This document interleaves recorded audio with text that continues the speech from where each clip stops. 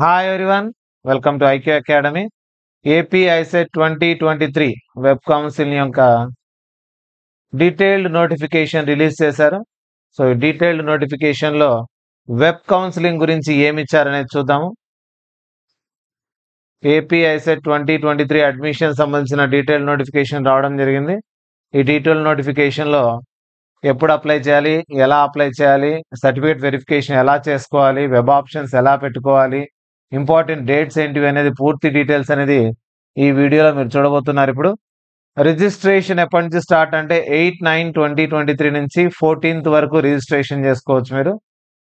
Verification of uploaded certificates. మీరు upload చేసిన certificates అన్ని కూడా నైన్ నుంచి సిక్స్టీన్ వరకు వెరిఫై అవుతాయి.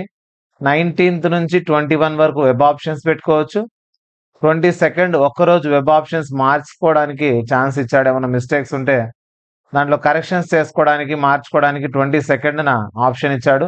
ట్వంటీ ఫిఫ్త్న సీట్స్ అలాట్ అవుతాయి అండ్ ట్వంటీ సిక్స్త్న వెళ్ళి ఒక్క రోజు తర్వాతే అలాట్ అయిన వెంటనే నెక్స్ట్ రోజు మీరు వెళ్ళి సెల్ఫ్ రిపోర్టింగ్ చేసుకోవాల్సి ఉంటుంది. తర్వాత వచ్చేసి class work commencement twenty seventh నుంచి క్లాసెస్ అనేవి కూడా స్టార్ట్ అయిపోతాయి. సో టిఎస్ ఐసెట్ అడ్మిషన్స్ చూసుకుంటే ఇది కొంచెం డిఫరెంట్గా ఉంది. మీరు రిజిస్ట్రేషన్ వచ్చేసి ఎయిత్ నుంచి ఫోర్టీన్త్ వరకు రిజిస్ట్రేషన్ అంటే ఫీజు కట్టేసి సర్టిఫికేట్స్ అన్ని అప్లోడ్ చేయాలి. సో ఫీ కట్టడము సర్టిఫికేట్స్ ఆన్లైన్లో అప్లోడ్ చేయాలి సో సర్టిఫికేట్స్ ఆన్లైన్లో అప్లోడ్ చేయాలి. సర్టిఫికేట్స్ ఎక్కడ హెల్ప్ లైన్ సెంటర్లకు వెళ్ళి వెరిఫై చేసుకోవాల్సిన అవసరం లేదు. This is totally online web counselling అని చెప్పుకోవచ్చు మనము. సో ఆఫ్లైన్ కాదు ఇది. రిజిస్ట్రేషన్ అయిపోయిన వెంటనే ఫీజు కట్టిన వెంటనే సర్టిఫికేట్స్ అప్లోడ్ చేయండి. అప్లోడ్ చేసిన సర్టిఫికేట్స్ వెరిఫై అవుతాయి నైన్త్ నుంచి సిక్స్టీన్త్. అంటే మీరు ఎప్పుడు అప్లోడ్ చేస్తారో దాని తర్వాత నుంచి ఎయిత్ అప్లోడ్ చేస్తే నైన్త్ నుంచి. ఒకవేళ నైన్త్ అప్లోడ్ చేశారు అనుకోండి నైన్త్ నుంచి సిక్స్టీన్త్ లోపల మీ సర్టిఫికేట్స్ అన్ని వెరిఫై అవుతాయి. వెరిఫై వెరిఫైడ్ అని వస్తుంది. మీకు వెరిఫైడ్ అని వస్తే అక్కడికి మీ సర్టిఫికేట్ వెరిఫికేషన్ అయిపోయినట్లు. అదే పిహెచ్ కేటగిరీ కానీ ఎన్సిసి కానీ సిఏపి కేటగిరీ కానీ సో డిఫరెంట్ కేటగిరీస్కు చెందిన వాళ్ళు ఏం చేయాలంటే సర్టిఫికేట్ వెరిఫికేషన్ ఫిజికల్గా అటెండ్ అవ్వాలి. ఇదొక్కటి ఆఫ్లైన్ ఇక్కడ ఇచ్చాడు చూడండి. ఫిజికల్ అపియరెన్స్ అట్ ఎక్కడ వెళ్ళాలి అంట? Andhra Loyola college Sentini hospital road Vijayawada. So విజయవాడకి వెళ్ళి స్పెషల్ కేటగిరీ వాళ్ళంతా కూడా సర్టిఫికేట్ వెరిఫికేషన్ విజయవాడలో. ట్వెల్త్న మీరు వెరిఫై చేయించుకోవాలి. ఆన్లైన్ కాదు. ఆఫ్లైన్ వెళ్ళాలి. స్పెషల్ కేటగిరీ ఉండే వాళ్ళంతా.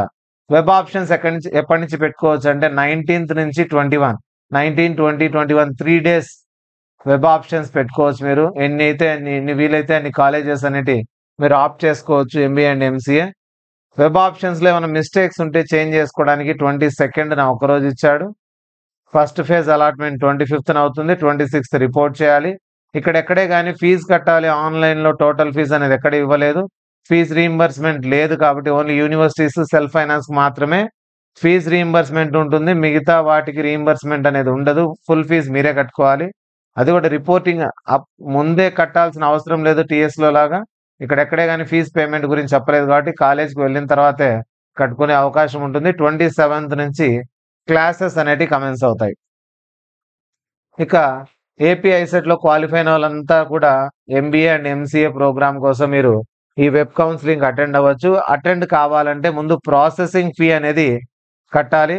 సో ప్రాసెసింగ్ ఫీజు ఎంత అంటే twelve hundred for OC BC six hundred for SC ST physically handicapped వాళ్ళకు సిక్స్ హండ్రెడ్ క్రెడిట్ కార్డ్ కానీ డెబిట్ కార్డ్ కానీ నెట్ బ్యాంకింగ్తో కానీ మీరు ఈ లింక్ ద్వారా ఈ లింక్లో మీకు ఉంటుంది ఫీ పేమెంట్ అందులోకి వెళ్ళి మీరు కట్టచ్చు. All candidates from first rank to last rank A rank వాళ్ళైనా సరే ఎయిత్ నుంచి రిజిస్ట్రేషన్ స్టార్ట్ చేసుకోవచ్చు. సపరేట్ డేట్స్ అంటూ ఏం లేదు. ఎయిత్ నుంచి స్టార్ట్ కాబట్టి అందరూ అప్పుడే స్టార్ట్ చేసుకోవచ్చు. సో ఈ వెబ్సైట్ లింక్ ద్వారా ప్రాసెసింగ్ ఫీజు కట్టేసేయాలి. ప్రాసెసింగ్ ఫీజులో మీకు హాల్ టికెట్ నెంబర్ డీటెయిల్స్ అడుగుతుంది.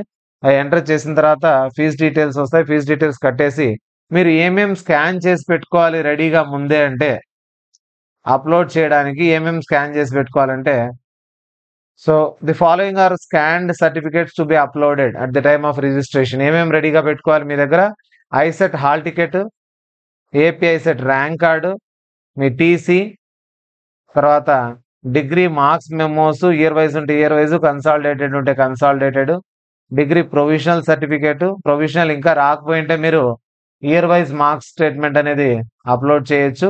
తర్వాత ఇంటర్మీడియట్ మార్క్స్ మేము టెన్త్ క్లాస్ మార్క్స్ మేము స్టడీ సర్టిఫికేట్స్ నైన్త్ నుండి డిగ్రీ వరకు. సో నైన్త్ నుంచి డిగ్రీ వరకు స్టడీ సర్టిఫికేట్స్ అడిగాడు కాబట్టి ఇవి రెడీ చేసుకోండి. సో ఇంతకుముందు ఎప్పుడు ఫోర్త్ నుంచి అడిగేవాడు ఏపీలో ఇప్పుడు మాత్రం నైన్త్ టు డిగ్రీ అడిగాడు. సో ఈ స్టడీ సర్టిఫికేట్స్ అయితే మీరు కంపల్సరీ పెట్టుకోవాలి. నైన్త్ టు డిగ్రీ ఇక సర్టిఫికేట్ స్టడీ సర్టిఫికేట్స్ లేని వాళ్ళు రెసిడెన్స్ సర్టిఫికేట్ తీసుకురావాలి. మీరు ఎక్కడే కానీ ఎడ్యుకేషన్ లేదు స్టడీ సర్టిఫికేట్స్ లేవంటే అటువంటప్పుడు మీరు ఏం చేసుకోవాలంటే రెసిడెన్స్ సర్టిఫికేట్ అనేది తీసుకురావాలి. ప్రైవేట్ క్యాండిడేట్స్ ఎవరైతే ఓపెన్లో చదివింటారో ప్రైవేట్గా కట్టి రాసింటారో వాళ్ళంతా రెసిడెన్స్ సర్టిఫికేట్ తీసుకురావాలి. Residence certificates of either of the parent for ten years excluding period of employment parents residence అయినా తీసుకురావచ్చు. లేదంటే మీది రెసిడెన్స్ స్టూడెంట్కి ఇస్తే స్టూడెంట్ రెసిడెన్స్ అయినా తీసుకురావచ్చు. రెసిడెన్స్ తెస్తే నేను లాన్ నాన్ లోకల్ కింద కాకుండా లోకల్ క్యాండిడేట్స్ లాగా కన్సిడర్ అవుతారు. ఏపీలో రెసిడెన్స్ సర్టిఫికేట్ ఉంటే.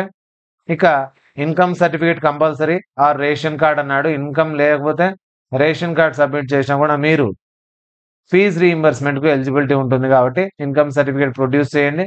క్యాస్ట్ సర్టిఫికేట్ ఇవ్వాలి ఎస్సీ ఎస్టీ బీసీ వాళ్ళు. లేదంటే అన్రిజర్వ్డ్ కింద వెళ్ళిపోతారు క్యాస్ట్ సర్టిఫికేట్ అప్లోడ్ చేయకపోతే. ఓసీలో ఈడబ్ల్యూఎస్ కేటగిరీ వాళ్ళు ఈడబ్ల్యూఎస్ సర్టిఫికేట్ మిగతా క్యాస్ట్ వాళ్ళు అయితే ఎస్సీ ఎస్టీ బీసీ సర్టిఫికేట్స్ అనేవి ప్రొడ్యూస్ చేయాల్సి ఉంటుంది. లోకల్ స్టేటస్ సర్టిఫికేట్ వచ్చేసి ఎవరైనా మైగ్రేట్ అయితే ఇది మైగ్రేట్ అయిన వాళ్ళకి మాత్రమే candidate who migrates to any part of the state of Andhra Pradesh from the state of Telangana నుంచి ఏపీకి వచ్చిన వాళ్ళు. సో సెవెన్ ఇయర్స్ ఫ్రమ్ ఎప్పటి నుంచి అనేది ఇచ్చాడు. వీళ్ళు మైగ్రేషన్ సర్టిఫికేట్ తీసుకురావాలి. ఇక దాని తర్వాత ఎంబీఏకి ఎంసీఏకి ఎలిజిబిలిటీ ఏమి అంటే candidates who secure fifty percent for OC forty five percent for remaining category students డిగ్రీలో ఈ పర్సంటేజ్ మార్క్స్ ఉంటేనే మీరు కౌన్సిలింగ్ అటెండ్ అవ్వాలి. లేదంటే యువర్ నాట్ ఎలిజిబుల్ అని ఇచ్చాడు ఇక్కడ. Only eligible for admission is fifty percent marks in degree for open category వాళ్ళకు. మిగతా కేటగిరీ వాళ్ళకంతా ఫార్టీ ఫైవ్ పర్సెంట్ మార్క్స్ ఉండాలి. ఇంకా ఎంబీఏ చేయడానికైతే టెన్త్ క్లాస్లో మ్యాథ్స్ ఉండాలంటున్నాడు. అందరికీ ఉంటుంది. మోస్ట్లీ హండ్రెడ్ పర్సెంట్ అందరికి టెన్త్లో మ్యాథ్స్ ఉంటుంది. అంటే ఎనీ డిగ్రీ కింద వచ్చేస్తుంది. ఎంసీఏకి మాత్రం బీసీఏ చదివి ఉండాలి. లేదా computer science engineering or equivalent degree ఏదైనా కావచ్చు at least fifty percent marks ఉండాలి. Forty five percent in case of reserved category in the qualifying ఎగ్జామ్లో ఫిఫ్టీ పర్సెంట్ మార్క్స్ అనేది కంపల్సరీ ఉండాలి. ఏదంటే బీసీఏ కానీ or bachelor degree in computer science engineering కానీ or equivalent దానికి ఈక్వలెంట్ డిగ్రీ ఏదైనా కానీ లేదా నార్మల్ డిగ్రీ అయితే ఇది బీటెక్ బీసీఏ వాళ్ళకు. నార్మల్ డిగ్రీ వాళ్ళైతే B Sc B Com BA ఏదైనా ఉండొచ్చు కానీ టెన్ ప్లస్ టూ లెవెల్లో మ్యాథమెటిక్స్ అయితే కంపల్సరీ. ఇక్కడ లేకపోతే డిగ్రీ లెవెల్లో అన్నా కంపల్సరీ మ్యాథ్స్ ఉండాలి. With additional bridge courses bridge courses ఏమైనా చేస్తుంటే అడిషనల్గా మ్యాథ్స్ బ్రిడ్జ్ కోర్స్ ఉన్నా కూడా సరిపోతుంది. At least fifty percent marks ఉండాలి. రిజర్వ్డ్ కేటగిరీ వాళ్ళకి ఫార్టీ ఫైవ్ పర్సెంట్ ఇది కంపల్సరీ.